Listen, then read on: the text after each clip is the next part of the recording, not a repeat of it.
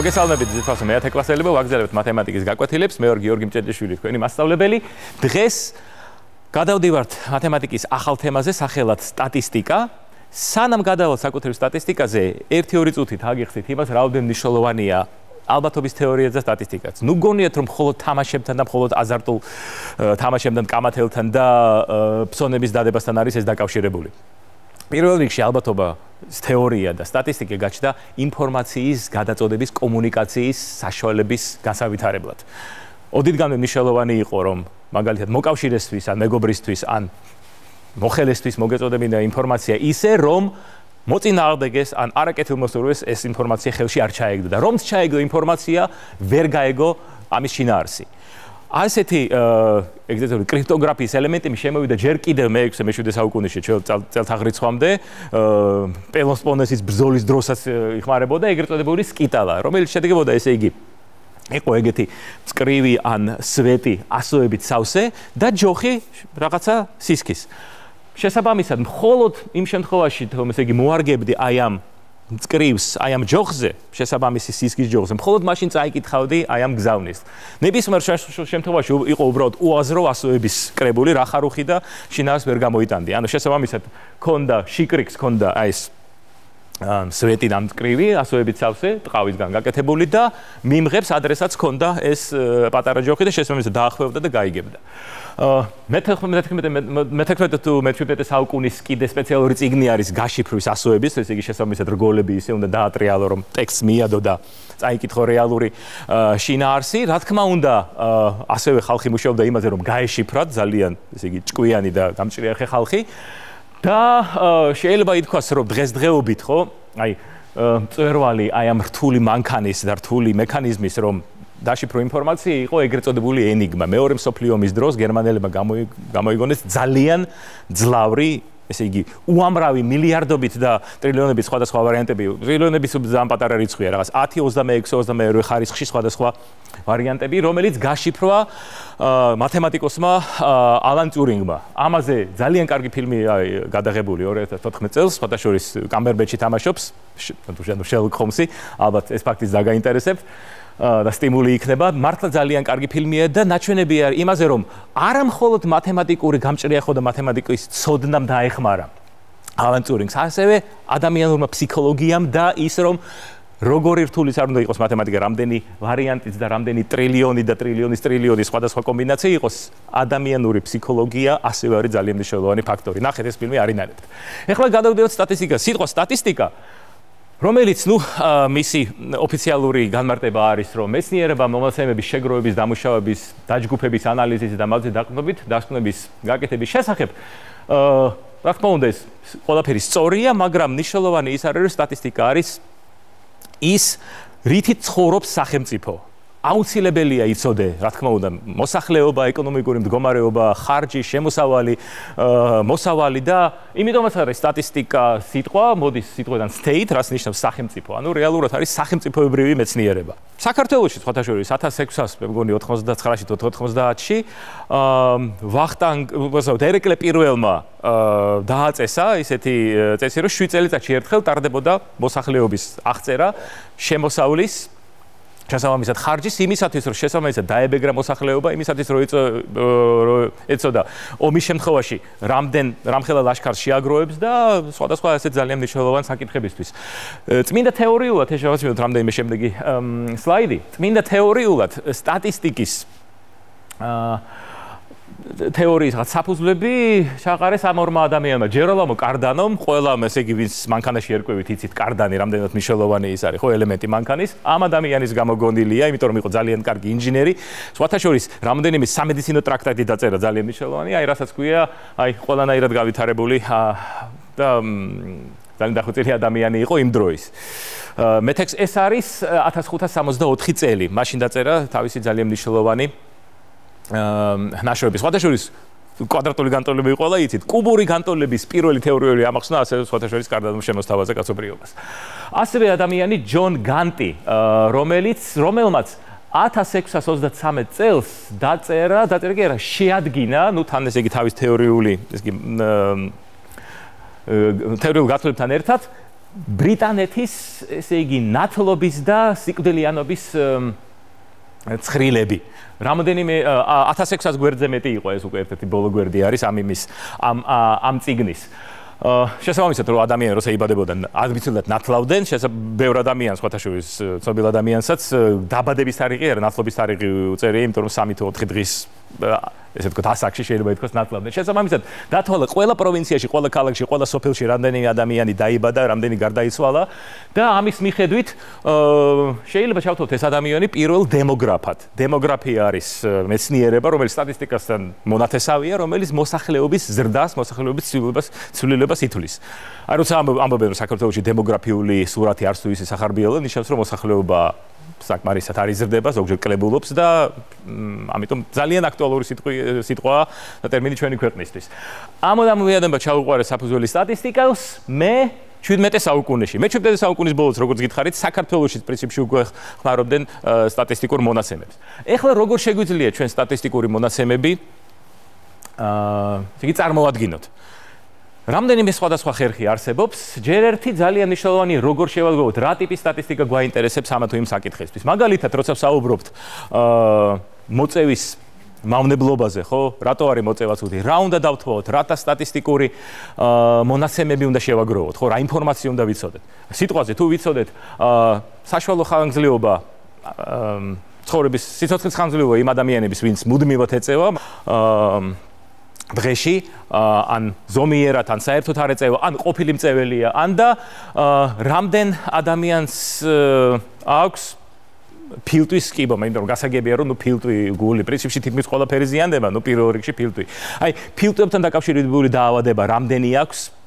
რამდენი პროცენტია იმ ადამიანების, ვინც არის ეგეთი ძალიან ესეთი დიდი მწეველი, საშუალო მწეველი, ყოფილი მწეველი და ადამიანი, რომელიც არასოდეს არ ეწევდა. აი ამის შედარებით ჩვენ გვიძლია გავიგოთ ინფორმაცია. ანუ მნიშვნელოვანია ასევე ძალიან რომ რა უნდა გავიგოთ. აი მაგალითად, რამდენად წარმატებულები არიან საქართველოს სპორტსმენები, მაგალითად ოლიმპიადებზე. რა ინფორმაცია უნდა მოვიზიოთ? ну ალბათ ხვდებით რომ უნდა მოვეძიოთ ინფორმაცია თუ რამდენიმე ოქროს, ვერცხლის და ბრინჯაოს медаლი აიღეს ქართველმა სპორტსმენებმა 1952 წლიდან, როდესაც პირველად მიიღეს მონაწილეობა э, ზაფხულის ოლიმპიადაში. აი მოდით ვნახოთ თუ როგორ შეიძლება შევადგინოთ სტატისტიკა აი შემდეგი სიტუაციის. ქვიშის ფეხბურთი, რომელიც არის ძალიან პოპულარული სპორტი, აა ნუ ინგლისურად ეძახან beach soccer and beach football, ანუ ესე იგი პლაჟის, ანუ ნაპირის, ნუ ქვიშის ფეხბურთი ყველაზე კარგი თარგმანია, ოპტიმალური ქვიშის ფეხბურთში. აა ჩვენი გუნდის მიერ გატანილი გოლები ქვიშის ფეხბურთში. ამიტომ რატო შევარჩიე ქვიშის ფეხბურთი? იმიტომ რომ ზოგადად გაცილებით უფრო მეტი გოლი გადის და უფრო საინტერესო ამ მონაცემების ანალიზი. აა აი როგორ ვითვლით ჩვენ სიხშირეს, გვინდა გავაანალიზოთ. ხო, გასაგებია ეს მწკრივის რო შევხედოთ, შეგვიძლია დავთვალოთ, შეგვიძლია დავინახოთ, ხო, დავიჭეროთ რაღაც კანონზომიერება, მაგრამ გაცილებთ უფრო ადვილი, როცა ჩამოვწეროთ, რამდენ თამაში გაიტანა გუნდმა, ნუ არც ერთი გოლი და ასე შემდეგ, ხო, მაქსიმუმი აქ არის 11. და ეს ჩვენ რაღაც დაგვეხმარება დათვლისთვის. მაგალითად, ნუ 0 არც 1 არ არის. მოდით, აი 6 არის, ერთ თამაში გაიტანა 6. მოდით, ჩავწეროთ აი ესე. მერე არის 3. მერე არის 7 და 7. 7-ის მერე არის ერთიანი. მერე არის 10 8 2, ხო, ესე იგი 10 8 2.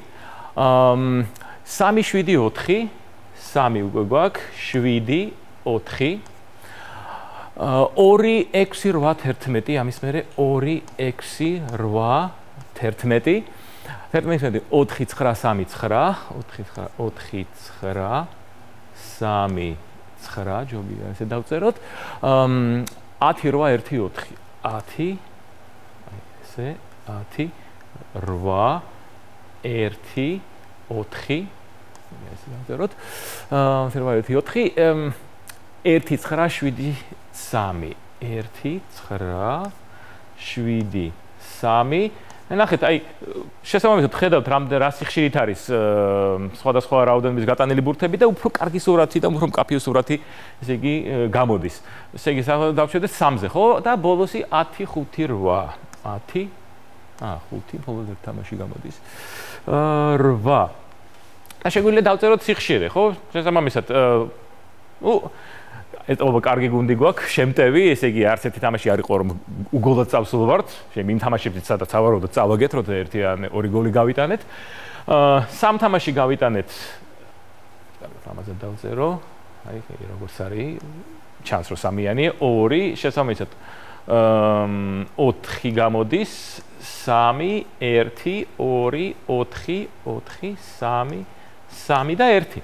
აჰა, ნუ აი აქედან გვაქვს სურათი, ხო? ესე იგი საკმაოდ ხშირად გაგვაქვს, ხო? აი მაგალითად 7, 8, 9, 10 გოლი, საკმაოდ უხგოლიანი გუნდი ვაქვს. ნუ ზოგჯერ, ნუ ნაკლების გაგვაქვს და ნუ ერთი თამაში, ნუ განსაკუთრებით ალბათ დიდი ანგარიშით მოვიგეთ, გამოვიდა 11 გოლი. შეგვიძლია ასევე დავთვალოთ ფარდოფითი სიხშირე. ეს არის სიხშირე, მაგრამ მაგალითად ეს სიტყვაზე რომ რო ვთქვა, შემდეგ ინფორმაცია მოგეწონათ. აი, ჩემმა გუნდმა სამ თამაში გაიტანა 10 გოლი და ერთ თამაში გაიტანა 11 გოლი. მარტო ამ ინფორმაციით ალბათ დასკვნოს, ახლა ძალიან მნიშვნელოვანი დასკვნოს ვერ გამოიტან. რამდენ თამაში? 5 თამაში? 5 თამაში თუ მოხდა, რა თქმა უნდა, ეს ნიშნავს ძალიან კაი შედეგი. 100 თამაში? თუ 100 თამაში მხოლოდ 4 თამაში გაიტანე 10 გოლი ან მეტი, გასაგებია ეს ძალიან სახარბილო ინფორმაცია არ არის. მნიშვნელოვანია სულ რამდენ თამაში გამოვიდა ეს შედეგი. ამ ჯამს დავითვლით, კაი, დროს შევინახა, ვიცით, რადგან შევადგინეს ამათან 30 თამაშია და შესაბამისად შეგვიძლია ჩავწეროთ სიხშირე ფარდობითი სიხშირე. ანუ 0, ანუ ესე იგი არც ერთ თამაში, ესე იგი ჩვენ ყოველთვის გვაქვს გოლი, ყოველ შემთხვევაში ბოლო 30 თამაში. ეს არის 0.1 ან 10% ან 1/10. ეს არის 1.15 ან 0 სადღაც 67 შეგვიძლია აწილა და დავწეროთ. შეიძლება აქ უბრალოდ ცოტა ადგილი მაქვს, ამიტომ ავერჩია ჩოლება აწილადად ჩაწერის მეთოდი. აქ არის 0.13 სადღაც. აქ არის 0.1, აქ 0.03 და ასე შემდეგ. აი შეგვიძლია ფარდოფითი სიხშირე და ვნახოთ, აი ნახეთ საკმაოდ ხშირად 0 და 13. აჰა, ესე იგი დაახლოებით ნიშნავს სადღაც 8 8 თამაში ერთხელ გაგვაქვს 3 გოლი. 8 თამაში ერთხელ გაგვაქვს 3. უბრალოდ 7 გოლი და 8 თამაში ყოველ მერვე თამაში გაგვაქვს 8 გოლი. აი, აი ესე შეგვიძლია გავაანალიზოთ აი ეს ინფორმაცია. თუ სიტყვაზე ჩვენ გვაქვს 5-ზე მეტი, აი როგორ არის ადვილად დასათვლელი, თუ ძალიან ბევრი ჯოხი რო არ გამოვიდეს, ყოველ მეხუთეზე ხაზავთ აი ესე და ეს არის ხუთეული და მე ისევ 1 2 3 4 და ესე ხუთეული, თუ რა თქმა უნდა, ჩვენ საკმარისი რაოდენობა გვაქვს მონაცემების. ეს არის ეგრეთ წოდებული დისკრეტული მონაცემები. დისკრეტული მონაცემები ნიშნავს, სადაც გოლების რაოდენობა არ შეიძლება იყოს 1.5, ხო? გასაგებია. ჭადრაკში შეიძლება 1.5 გოლები იყოს, ყაიმის შემთხვევაში, მაგრამ ფეხბურთში არ არის, მაგრამ აა მაგრამ ცხადია, რომ ესე იგი 0 ძალიან მნიშვნელოვანია, ესე იგი 3 გოლის და 7 გოლის შორის არის ძალიან ძალიან დიდი განსხვავება. თუ ჩვენ საუბრობთ მაგალითად აა მაგალითად გამოსის შედეგებზე. გამოსის შედეგები ჯგუფია 53 ადამიანმა დაწერა ძალიან ესე თქვა მრავალფეროვანი შედეგი გამოვიდა, ზოგმა ძალიან კარგად დაწერო, ზოგმა ძალიან ცუდად. ნუ არავინ ბოლომდე არ ჩააგდო, ანუ არავინ არც ერთი არ არის ეთყობა დაინდოს მასშტაბლებმა 20-ზე ნაკლები არავის არ დაუწერეს, მაგრამ აქ რომ სათითაო დავწეროთ ქულები სულ გაქვს, ესე იგი 10-დან 99-მდე 90 სხვადასხვა ქულა, ხო ესე იგი აქ რომ დაწერო, ესე იგი სიხშირეების ცხრილი შეიძლება ერთზე მეტი არც ერთი არ იყოს, ესე იგი ყველა იყოს თითო, იმიტომ რომ სულ არის 53 ადამიანი და 90 სხვადასხვა ვარიანტი. ამიტომ გაციელებით უფრო კარგი უპრიანი იქნება ინტერვალებით დაწერა, აი ამ ამ სიტუაციის აღწერა ინტერვალებით. შესაბამისად 10-დან 19 და 20-დან 39-მდე და ასე შემდეგ. ეს არის ერთი მეთოდი. კიდე ერთი მეთოდი არსებობს. აა ინფორმაციის მიწოდების დღეს დრო არ გვაქვს რომ ის წინ ამოცანა გატანილ გოლებზე ავსახოთ როგორც სვეტოვანი დიაგრამა, სვეტოვანი დიაგრამა არის საკმაოდ მარტივი. ესე იგი, აქ ჩვენ ხაზავთ გვაქვს ან რიცხვები, ან მაგალითად ამ შემთხვევაში ვის რამდენი კამფეტი უყარს, ხო? ეხა პიტნის, პორტოხლის, კლიავის და რამდენ ადამიანს. აჰა, ხედავთ რომ 20 სადღაც 27, ხო, 25-ის და 30-ის შორის 25-თან უფრო. 27 ადამიანს უყარს პიტნის, აა 13-ს უყარს, პროფესორი 18-ს უყარს პორტოხლის, 7-ს კლიავის სავარაუდოდ 22 და 26 შესაბამისად კოწახურის და ლიმნის. ასე შეგვიძლია ჩვენი ინფორმაცია დავწეროთ, აი 0 გოლი, 1 გოლი, 2 გოლი, აი ეს ვეტები. ესე 1 გოლი რამდენ თამაში იყო, მე მგონი აა რაღაცა 3-ში, ეს იყო მაგალითად 4-ში. 3 გოლი, უკვე ზუსტად არ მახსოვს, მაგალითად 5 თამაში და შესაბამისად ეს არის 5, ეს არის 4, არა 5 თამაში არც ერთი არ იყო, ნუ წარმოვიდგინოთ სიტყვაზე. ო, ბაქო. ეს არის 2 და და ასე შემდეგ. თუ ჩვენ გვაქვს ასევე ინტერვალი და ნაკლებად ინფორმაციული იქნება ხა თითო რიცხვის აღება, ხო, დავუშვათ 1 2 3, თუ იგივე საუბარი არის კალათბურთზე, აი ეს LeBron James-ის ინფორმაცია ავიღე, გავე მეორე, რაც წინა გაკვეთილზე ქონდათ. აი ამ შემთხვევაში ჩვენ სვეტოვანი დიაგრამას კი არ ვიზახეთ, ჩვენ ამას ვიზახეთ ჰისტოგრამას, იმიტომ რომ ჰისტოგრამაში ჩვენ როგორ წესი გვაქვს ესე იგი ერთნაირად, ესე იგი აი გადაბმული აა სვეტები, ინტერვალები, იმიტომ რომ ამ შემთხვევაში ნახეთ. 3 და 4-ის შორის წარმოუდგენელია 3.5, 3.4, მაგრამ აი აქ 10-დან 19-მდე არის მუდმივი ინტერვალი. აა შესაბამისად, აი ეს არის შესავალი სტატისტიკის და სტატისტიკური მონაცემების წარმოადგენის და ამასთან დაკავშირებით გექნებათ ამოცანა. ფრენბურთის გუნდის წევრების სიმაღლე სიხშირე არის ცხრილი არის მოყვანილი. ამ შემთხვევაში საერთოდ ახსენეთ რატო უნდა იყოს ჰისტოგრამა და არა და არა სვეტოვანი დიაგრამა იმიტომ რომ ჩვენ გვაქვს ინტერვალები და შესაბამისად სიმაღლე განსხვავებით მაგალითად გოლების რაოდენობისგან შეიძლება იყოს 10 წილადი შეიძლება ადამიანი იყოს 173.5 სანტიმეტრი ან 192.8 სანტიმეტრი. ხო შესაბამისად ანუ ჩვენ გვაქვს მუდმივი ინტერვალი ჩვენ არ გვაქვს დისკრეტული მონაცემები. ამიტომ ჰისტოგრამა ჯობია და შესაბამისად აქ არის სიხშირეები და ადვილად შესაბამისი სიმაღლის სვეტით ოღონ იქნება სვეტები, მაგრამ სვეტები იქნება ერთმანეთთან მოდებული, არ იქნება ინტერვალები. და მეორე ამოცანა. აქაც არის გვაქვს ბევრი მონაცემ მონაცემი 60 მონაცემი 60 მოსწავლეს შეეკითხეს სკოლაში. თუ რამდენი დრო ჭირდება სახლიდან სკოლაში მოსვლისთვის ну ზარტო ძალიან მნიშვნელოვანი ინფორმაცია რომ გაიგონ ხო რამდენი დრო ჭირდება შეიძლება რაღაც ან ავტობუსები გამოუყონ ან სიტყვაზე დაგვიანებაზე რაღაც სანქციები არ მიიღონ და ასე შემდეგ ხო?